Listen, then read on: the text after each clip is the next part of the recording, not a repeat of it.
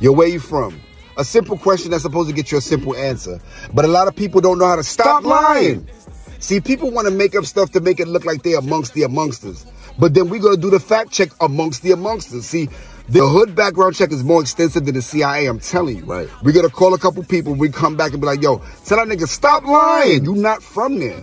People want to wait until they get a dope ass job and make and make their world out in corporate America and in front like you came from the fiery pits of Brownsville. Now, you not from there. Stop lying. Your aunt is from there.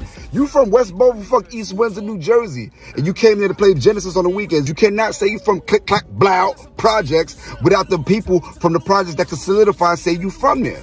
Nigga, just because you went to the store a couple times and bought some Arizonas, you can't claim that neighborhood. You was never at the cool kids lunch table, baby want to build this fake image of yourself like you came through adversity. You notice all these weak motherfuckers was never in the grind in the hood. They was looking out the window. See, I saw a roach that one time. You still not from there, bro. You got an address there, but you wasn't amongst the amongsters. You don't know what it is to take a mental beating from some of these neighborhoods in these areas and then try to flourish later and say that you're from there. Stop lying. If you ain't put no pain in out there, you ain't help nobody get no bread or do nothing significance, you can't say you was amongst the amongsters because the fact checks are going to come back and you're going to be looking crazy. They're going to be looking at you like, stop lying.